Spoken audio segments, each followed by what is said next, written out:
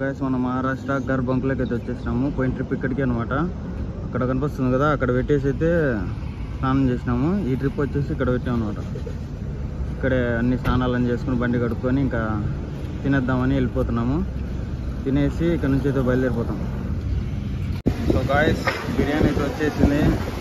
చూడండి ఫ్రెష్గా స్నానాలు చేసుకొని బిర్యానీ తిని ఇక్కడ నుంచి అయితే బయలుదేరిపోతాం. దీంట్లో చూడండి మొత్తం ఎంత ఉందో. అంటే చికెన్ ఆ, చికెన్ని మామూలుగా కర్రీ ఉంటుంది కదా ఆ కర్రీలో నుంచి ముక్కలు ఎత్తుకొని వేయించి దాంట్లోకి రైస్ వేసి వేసినాడు అనమాట మళ్ళా ఇది దీంట్లో షేర్వా? షేర్వా. షేర్వాలో మొత్తం నూనె తప్ప ఏం లేదు చూడండి ఎంత నూనె? ఇంట్లో అయితే పది రోజులు వండుతారు నూనె. ఏమైందేమో బ్రో? ఇప్పుడే ఇబ్బందులు ఉన్నాం బ్రో. చూడు కలుపుతుంటే కూడా ఒక పక్క పోతుంది నూనె ఎంత ఇదే బిర్యానీ. తినేసి త్వర త్వరగా వెళ్ళిపోదాం. ఇప్పటికే లేట్ అయిపోయింది. చాలా సేపు లేట్ అయిపోయింది ఇక్కడ. ఒక గాయస్ మనం అయితే తినేసినాము. ఒక బండి అక్కడ ఉందన్నమాట.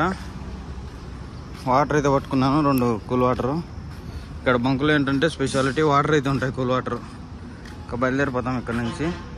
ఫ్రెండ్స్ మన బ్రో వచ్చేసి లోపలికి వెళ్ళాడు అనమాట అక్కడే అనమాట అది వస్తున్నాడు చూడండి. డబ్బులు ఇచ్చేసి వస్తాడు అనమాట రెండు వందలు మూడు వందలు తీసుకుంటారు.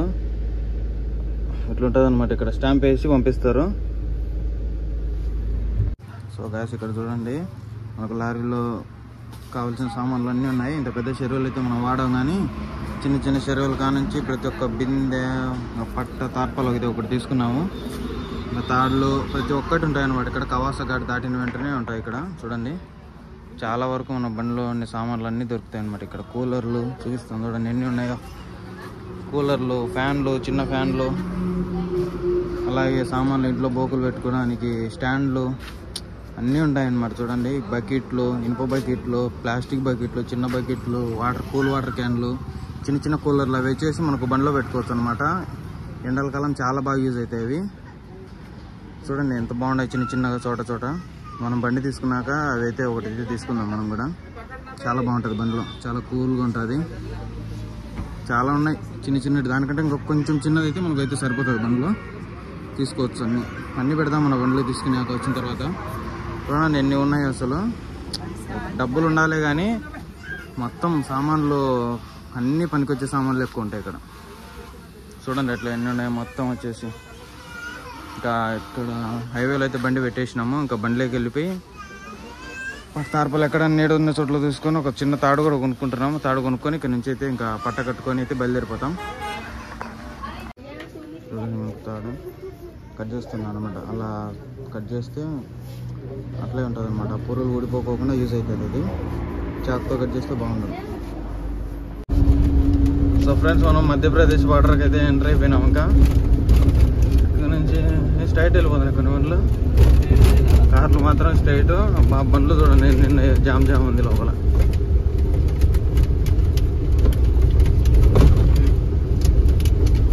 లాస్ట్ లేక్ వేసుకోండి లాస్ట్ లేక్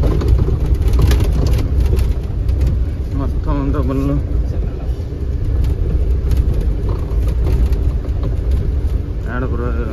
ఏమంటే ఎవరంటే వాళ్ళు దూరేకేయాలి ఎందుకంటే డివైడర్లు ఉన్నాయి. ఆ లోపల దాటుకుందంటే బండి ఇంక ఎటు వెళ్ళలేరు అనమాట ఎవరు దూరలేరు అది కాదు.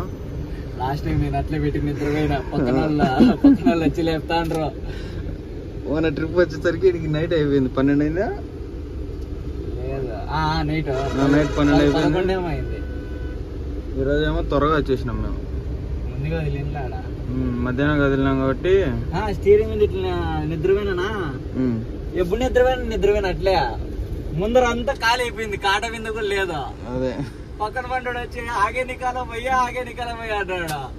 లే లేదు చూస్తే ఏం అర్థం కాలా? ఫుల్ నిద్ర. మళ్ళీ అట్లా నిదానంగా తీసుకుపోయి కాట పెట్టి వెళ్ళిపోయింది అయ్యా. అయ్యో. అయ్యి మళ్ళా ఆడ అన్ని బండ్లకి వేసేటవన్నీ ఉంటే అవంతా చూసుకొని ఒక చాయ్ తాగేసి వచ్చి మళ్ళీ ఎక్కిన బండి. అట్లా అయిపోతుంది ఒకసారి ఎన్ని లైన్లు అన్ని ఓపెన్ చేసి పెట్టి ఉన్నారు ఈడ.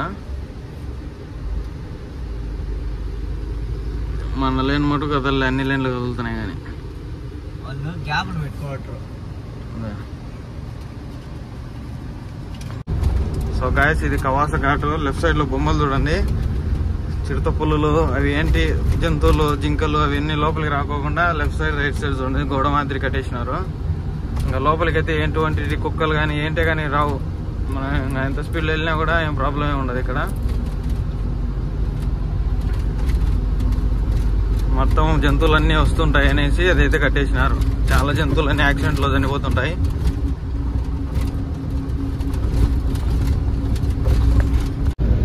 సో గాయస్ ఘాట్ సెక్షన్ అయితే స్టార్ట్ అయిపోయింది. మన ముందర చూడండి సిక్స్టీన్ టైర్ వెహికల్ ఎరగడలు వేసుకుని పోతాను ఒకటి. లొకేషన్ అయితే మామూలుగా లేదు. పోయిన ట్రిప్లో నేను అంత నిద్రపోయినా కాబట్టి అంతగా ఏం చూడలేదు అనమాట షూట్ కూడా చేయలేదు. చూడండి లొకేషన్ ఎట్లుందో మామూలుగా లేదు. అంతా ఎగుమారే అనమాట ఈ స్కూటర్లు చూడండి లెఫ్ట్ సైడ్లో రైట్ సైడ్ నుంచి దొరికిపోతున్నారు రోడ్డు బాగుంది కాబట్టి ఎక్కుతాం ఇలాంటి ఎక్కదు మట్టి రోడ్డు గిట్టి రోడ్డు అయితే.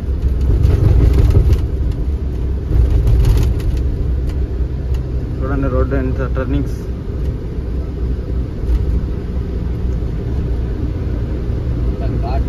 సెక్షన్ ఎక్కుంటూ పోతా ఉండాలి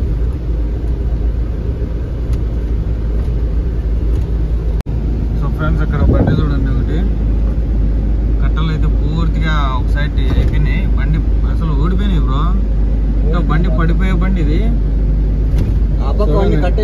ఎంత డేంజరస్ అసలు. ఇట్లా ఉంటుంది. ఘాట్ సెక్షన్లో కానీ కట్టలు వీకుంటే అసలు రావద్దు. టర్నింగ్స్లో పూర్తిగా ఎత్తేసిందంటే అట్లా ఉంటుంది పరిస్థితి. ఎట్లా పడిపోయేది బండి ఎట్లా నిలబడింది. వాళ్ళ అదృష్టం బాగుంది ఒక రూపా మళ్ళీ ఇప్పుడు లోడ్ అంతా అన్లోడ్ చేయాల్సిందే కదా మేము. అంతే. అన్లోడ్ చేయాలి మళ్ళీ వేరే బండికి ట్రైన్ మార్చుకోవాలి లాగి పట్టుకొని.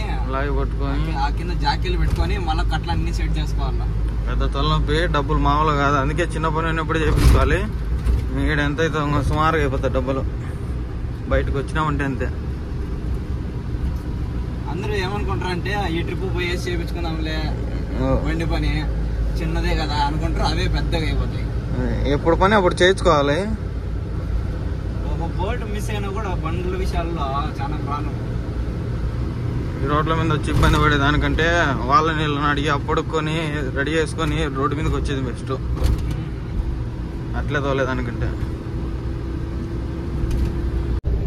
గాయస్ ఇది చూడండి ఎంత ఉందో ఓ బండి ఆడపక్క వాళ్ళ అర్థం కాలే. ఇది ఎంత ఓడేసి లోడు బ్రో? దీనికి ఎంత రాసిండు రోడ్ కేసు? ఇప్పుడు మన బండి అట్లా పోయేది వచ్చేసరికి బండి ఆరు కొట్ట. ఇస్తాడు?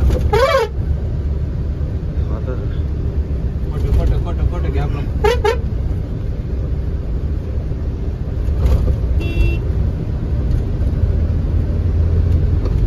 ఒకటేమో క్రాచ్ చేస్తే ఇంకా రెండు ఉన్నాయి గుండాలు. ఒకటేసారి ఎంత ఉన్నాయి? ఎట్లా చేపిస్తారు అని ఇట్లా అదే ఎట్లో లేకపోతే రోడ్ల మీదకి తెచ్చి ఏం చేస్తారు బ్రో? ఎట్లా? ఛాన్స్ ఉండదు. ఇట్లా పెట్టినా దొల్లిపోతుంది ముందుకు నిక్కన్నా అట్లా పెడితే స్టాండర్డ్ ఉంటుంది? అదేందో కరెక్ట్గా అవి ఆడ ప్లేస్మెంట్ జైల్లో ఆడే మ్యానుఫ్యాక్చర్ చేసుకుంటే మేలు కదా రెడీ చేసుకుంటే మేలు కదా అదే అట్లా. చేసుకుంటే మేలు. చూడు బండి అంత రోడ్ అంతా బండి ఉంది ఒకటైతే ఏమన్నా అనుకోవచ్చు ముందర చూడు ఎన్ని పోతాయి అట్లాంటివి. అదే. ఈ బండ్లను దాటాలంటే ఎంత ట్రాఫిక్ ఏంది కదా. సో ఫ్రెండ్స్ ఈ ఘాట్ సెక్షన్ చూడండి. భారీ ఘోరంగా ఉంది అనమాట బండ్లు అన్ని ఫస్ట్ ఎక్కుతున్నాయి. కొన్ని బండ్లు ట్రబుల్ ఇస్తున్నాయి. సింగిల్ లైన్ అయితే ఇచ్చినారు. రైట్ సైడ్ అయితే రోడ్ కన్స్ట్రక్షన్ అవుతుంది. అల్లిగంట టార్చర్ అయిపోతుంది ఫస్ట్ గేర్. ఎందుకంటే బండ్లన్నీ స్లో అయిపోతున్నాయి. మళ్ళీ ఫస్ట్ గేర్ రావాల్సి వస్తుంది. ఇంకా ఎంతవరకు ఉందో ఘాట్ సెక్షన్ ఇది. మన ట్రిప్ వచ్చేసి అంతా నైట్ టైంలో రావడం వల్ల అంతగా ఏం కనపరాలేదు ఇప్పుడు డే టైంలో వస్తుందని కనిపిస్తుంది. బస్సు వల్ల ఏమో ఎటు దూరుతున్నారు వచ్చి. చూడడానికి ఆర్ సిక్స్ ఎంత ఘోరంగా ఉందా. ఇక్కడ మాకు బండి ట్రబుల్ ఇచ్చింది.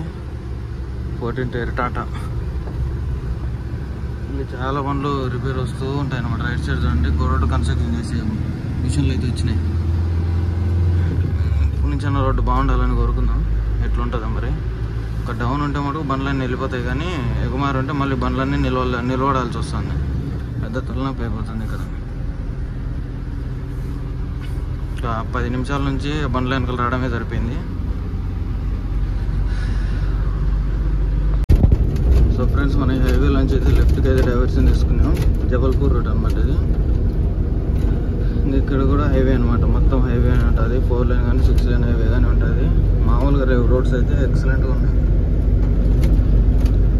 ఇంకా ఇక్కడ నుంచి అయితే దంచుడు దంచు దంచాలి. ఎందుకంటే ఆ రోడ్లో చాలా వరకు లేట్ అయిపోయింది అనమాట మనకు. ఇంకా టైమింగ్ చూసుకున్నట్లయితే ఇక్కడ వన్ డే టూ అవర్స్ అని చూపిస్తుంది. చూద్దాం మరి ఎంత షేప్లో వెళ్తాం. బండి వచ్చిందో లేదో కూడా చూసుకోరు రైట్ సైడ్లో బండి. అసలు ఎవరు ఇచ్చారు ఇటు నా కూడా డ్రైవింగ్ లైసెన్స్? సర్ర బండి వస్తానే ఉన్నాడు. రోడ్ సర్వీస్ రోడ్లో ఉన్న బండి హైవేలోకి వచ్చేటప్పుడు రైట్ సైడ్ బండి వెనకాల ఏదైనా వస్తుందా? పెద్ద వెహికల్ వస్తుందా? చిన్న వెహికల్ వస్తుందా? అని ఒకసారి చూడాలి. చూడకుండా నాదే రోడ్డు నా బాబు రోడ్డు వేసాడు. అని అట్లా వస్తే యాక్సిడెంట్లు దొరికి ఏం జరుగుతాయి ఇట్లా నా కొడుకులు హెవీ ట్రైనింగ్ ఇచ్చిన ఇది ఫస్ట్ గంటలు ఎక్కుతుంది ఒక్కోసారి ఇట్లా నా కొడుకులను చూస్తే.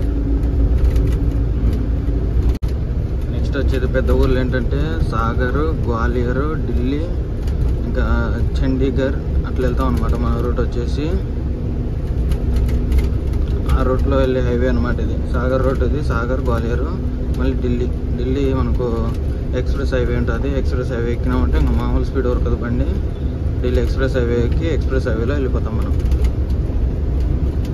సో ఫ్రెండ్స్ మనం ఇప్పుడు ఆగ్రా బైపాస్ వెళ్తాం. స్ట్రైట్ వెళ్తే ఆగ్రా. కదా Straight పోతే ఇది బైపాస్ ఇది బైపాస్ మనం ఎక్స్ప్రెస్ హైవే ఎక్కితే రోడ్డు విధంగా ఇది పోతే ఢిల్లీ ఎక్స్ప్రెస్ హైవే అయితే ఢిల్లీ ఎక్స్ప్రెస్ హైవే ఎక్కుతాము వెళ్ళిపోదాం ఇంకా నాన్ స్టాప్ ఏ టెన్షన్ ఉండదు ఆరాంగా ఒకటే రోడ్డే. ఇంకా ఆరు వందల ఎనభై ఒక్క కిలోమీటర్ ఉంది ఈ నుంచి. ఎనిమిది వందల అరవై ఒకటి. ఎనిమిది వందల అరవై ఒకటి ఉంది ఇంకా. వెళ్ళిపోతాం నిదానంగా. నైట్ పన్నెండు కల్లా రీచ్ అయిపోయిన చాలు మాకు. వాళ్ళు పొద్దున్నే నాలుగు ఇచ్చినారు పొద్దున్న నాలుగు ఇచ్చాను ట్రైనింగ్ మార్నింగ్ ఎంత లేదన్నా పన్నెండు కల్లా వెళ్ళిపోతాం పన్నెండు ఒంటి గంట కల్లా సింపుల్గా వెళ్ళిపోతాము. టెన్షన్ నిదానంగా వెళ్ళిపోతాం ఇంకా. సో గాయస్ ఇప్పుడు వచ్చేసి మనం పల్వాల్ స్ట్రైట్ వెళ్ళాలి. ఫైరిదాబాద్ అరవై ఏడు ఢిల్లీ తొంభై మూడు. మనం ఢిల్లీ అవుటర్ రింగ్ రోడ్ అంటే ఢిల్లీ ఎక్స్ప్రెస్ హైవే మీద అయితే వెళ్ళిపోతాం లెఫ్ట్ నుంచి. ఇక్కడైతే ఎండ చూడండి మామూలుగా లేదు అసలు ఎండ. మన చుట్టూ వచ్చేసి మనీ ఎక్స్చేంజ్ కోసం అయితే వెళ్ళాడనమాట ఇక్కడికి వెళ్ళేసి మనీ తీసుకొని వస్తాడు. ఐదు వేలు తీసుకోవాలి. ఎందుకంటే ఇంకా దావ ఖర్చులకైతే తక్కువ ఉంది. ఐదు వేలు అంటే యాభై రూపాయలు వాళ్ళకి ఇవ్వాలి. ఇప్పటివరకు మనం ఇక్కడ వెయిట్ చేయడమే. Welcome to Haryana. Haryana police అంట ఇక్కడ. హర్యానా బార్డర్ కూడా ఎంటర్ అయిపోయినట్టే అనుకుంటా ఇది దారితే చూద్దాం మరి ఎట్లయితుందో. ఇంకా బార్డర్స్ అయితే ఏమి ఉండవు అనుకుంటున్నాను. ఇంకా జమ్మూ బార్డర్ అయితే ఒకటి ఉంటుంది మనకు. రేపు మార్నింగ్ ఐదు కల్లా వెళ్ళిపోవాలి అక్కడికి. అంటే మేము అంతసేపు ఏం చేయము కానీ రెండు రెండున్నర మూడు కల్లా వెళ్ళిపోతాము. ఒక టూ అవర్స్ ముందు ఉండేలాగా చూసుకుంటాం. వెళ్ళిపోయి అన్లోడ్ ఎప్పుడైతే ఎన్ని రోజులు పడతాం మనకైతే తెలియదు అక్కడ చలి అయితే మామూలుగా ఉండదు. మన బండిలో సమూహాలు అన్నీ ఉన్నాయి కాబట్టి ఇబ్బంది అయితే ఏమి ఉండదు. చూద్దాం మరి ఎట్లయితుందో బయలుదేరిపోదాం ఇక్కడ నుంచి మనీ తీసుకొని. హర్యానా దగ్గర మళ్ళీ ఒక పదివేలు డీజిల్ అయితే వేయించేస్తున్నాము అయిపోయిస్తున్నాము ఆల్రెడీ రెండు ఫుల్ ట్యాంకులు అయితే అయిపోయింది అనమాట ఇంకొక వన్ థర్టీ కిలోమీటర్స్ రేంజ్ ఉంటే ఇక్కడ ఒక పదివేలు డీజిల్ అయితే వేపిస్తున్నాము. ఇక్కడ పదివేలు డీజిల్ వేపిస్తే మన అన్లోడింగ్ పాయింట్కి అయితే వెళ్ళిపోతుంది ఇంకా. మళ్ళీ జమ్మూలో అయితే వేయించుకోవచ్చు తక్కువ ఉంటుంది అక్కడ. ఇక్కడ డీజిల్ కాస్ట్ ఎనభై ఎనిమిది ఎనభై ఎనిమిది రూపాయలు ఉంది. ఎనభై ఎనిమిది మేలే. మన కర్ణాటక మాత్రం కదా. రెండు రూపాయలు ఎక్కువ కర్ణాటక కంటే. ఇంకా జమ్మూలో వచ్చేసి ఇంకా తక్కువ ఉంటుంది ఇంకా నెక్స్ట్ వచ్చేసి చండీగఢ్ వస్తుంది. మళ్ళీ ఆడ ఎక్కువ. అందుకని ఈడ పట్టుకునేద్దామని ఈడ పట్టుకున్నాం. ట్యాంక్ ఖాళీ. ఒక పదివేలు వేపించేసుకొని ఇంకా బయలుదేరిపోతాం ఇక్కడ నుంచి.